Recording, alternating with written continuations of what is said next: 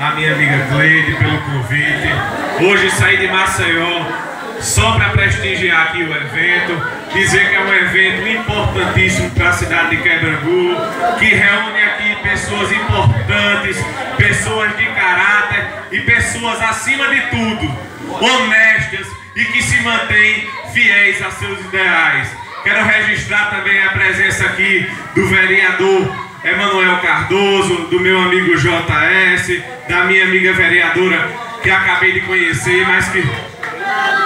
Minha amiga Dalva, que acabei de conhecer, mas já vi que é uma pessoa de personalidade e uma pessoa a quem quero ao meu lado nas caminhadas.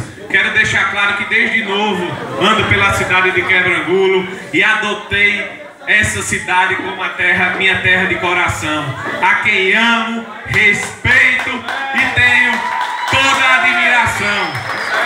Muitas vezes me encontro na capital, mas anseio por estar na minha terra quebrangulo, pois aqui é a minha terra que realmente amo, que admiro e que respeito.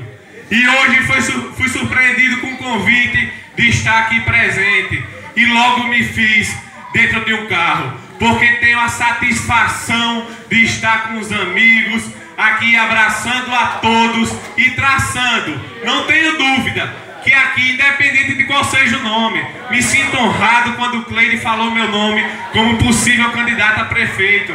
Mas não, mas não tenho dúvidas e não, e não tenho vaidade alguma. Pode ser o meu nome, pode ser o nome de qualquer um aqui presente.